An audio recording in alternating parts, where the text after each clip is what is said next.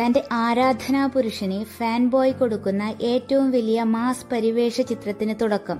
കൊല്ലം കൊട്ടാരക്കര ഗണപതി ക്ഷേത്രത്തിൽ സെപ്റ്റംബർ ഒന്നിന് പൂജ. ദിലീപ് ചിത്രത്തിലൂടെ മലയാളത്തിൽ അരങ്ങേറ്റം കുറിക്കാൻ തമന്നയും നീൽ നിതിൻ മുകേഷും.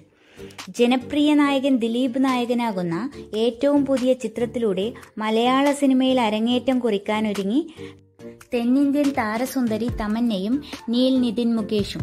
രാമലീല എന്ന സൂപ്പർ ഹിറ്റ് ചിത്രത്തിന് ശേഷം ജനപ്രിയ നായകൻ ദിലീപിനെ നായകനാക്കി അരുൺ ഗോപി സംവിധാനം ചെയ്യുന്ന ചിത്രത്തിലാണ് ഇരുവരും അഭിനയിക്കാൻ പോകുന്നത് എന്നാണ് ലഭിക്കുന്ന സൂചന.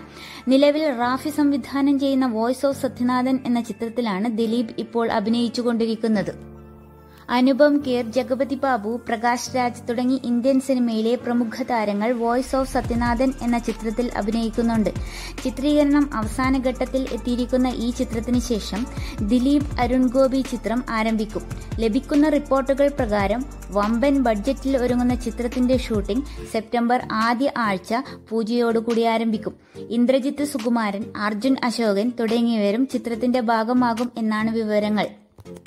ഒരുപാട് സൂപ്പർ ഹിറ്റുകൾ മലയാളികൾക്ക് സമ്മാനിച്ചിട്ടുള്ള ഉദയകൃഷ്ണ ആണ് ചിത്രത്തിന്റെ തിരക്കഥ ഒരുക്കുന്നത്. വിനായക ഫിലിംസിന്റെ ബാനറിൽ അജിത് വിനായക ആയിരിക്കും ചിത്രം നിർമ്മിക്കുക.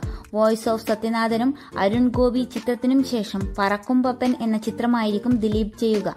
ഒരു സൂപ്പർ ഹീറോ ചിത്രമായാണ് പറക്കും പപ്പൻ ഒരുങ്ങുന്നത്. നവാഗതനായ വിയാൻ വിഷ്ണു സംവിധാനം ചെയ്യുന്ന ചിത്രത്തിന് തിരക്കഥ ഒരുക്കിയിരിക്കുന്നത് റാഫിയാണ്.